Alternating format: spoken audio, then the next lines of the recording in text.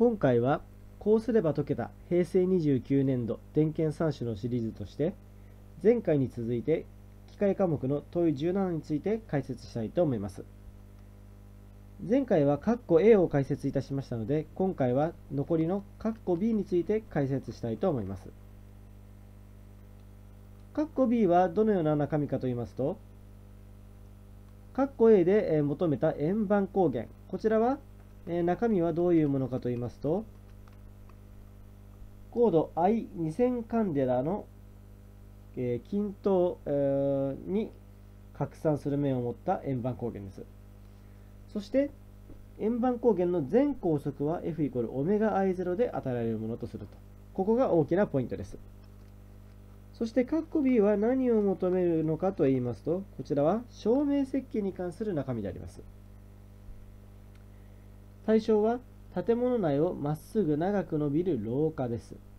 そして天井に円盤光源が等間隔で取り付けられている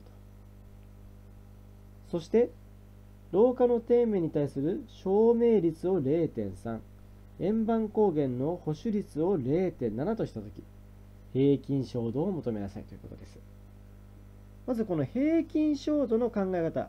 これは、えー、単純に言いますと、この光源を出す、光源が出した光のうち、え、どれぐらい底面に当たって、照らされる側に当たって、そして照らされが照らされる側の面積はどれぐらいかと。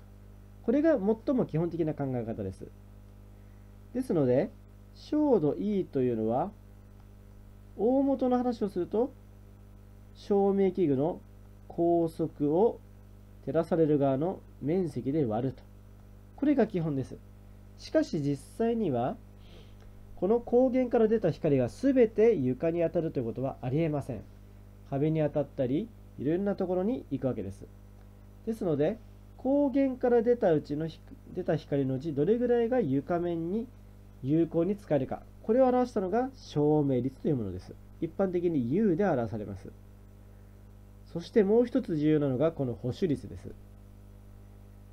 一般的に光源の高速の値というのは新品の最もいい状態の時です。通常、えー、照明器具というのは使い始めた新品の状態では非常に明るいですが、えー、少し使うと、えー、ある程度光が暗くなってきます。ただし、もちろん、え使う上では問題ない、えレベルで暗くなるんですね。そしてその状態で徐々に徐々に暗くなっていって最後切れるといったことになるわけです。ですので新品の状態のマックスの高速で設計してしまうと実用ベースでは暗くなってしまうんです。それらを勘案して考えるのがこの保守率というものであります。つまり実用ベースで考えれば最もいい条件の時の70%で考えてくださいということになるわけです。保守率は通常メンテナンスの頭を取って M で表します。さて、この問題で一つ考えなきゃいけないのは、この面積です。この光源1個が担当する面積はどれぐらいかということを考えるわけです。ポイントは均等に配置されているというところです。ですので、均等にということですので、次の光源までのちょうど中間地点、こことここ、中間地点同士を結んだこの範囲が、この光源1つが担当する範囲と考えればいいわけです。ということは、光源と光源の間隔が3.6メートルですから、この間も当然3.6メートルになります。そして幅はというと1.8メートルです。ですので、この面積 A というのは、これは 3.6×1.8 ということで、電卓に入れてありますと、6.48平方メートルを1つの光源が担当すると考えればいいわけです。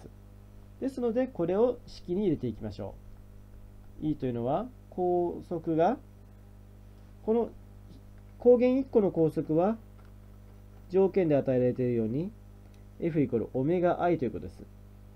I は2000カンデラですから、F は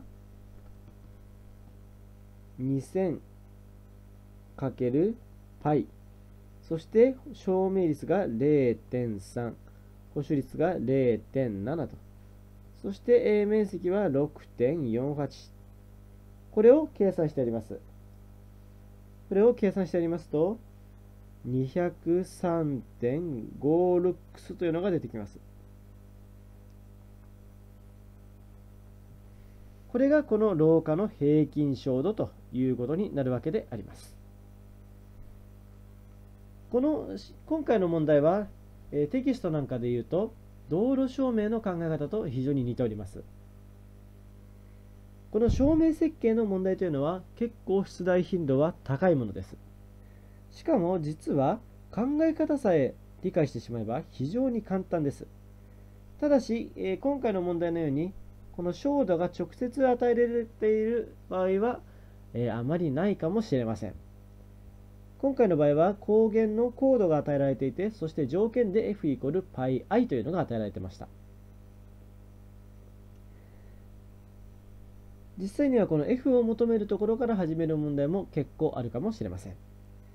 しかしこの証明設計は考え方を理解していくと、先ほども言いましたようにあまり複雑な計算ではありません。よく間違いやすいのはこの面積ですね。面積がどれぐらいかというところが一つ間違いやすいポイントかもしれません。今回のこの括弧 B、え、問題としては非常に重要な問題と言えます。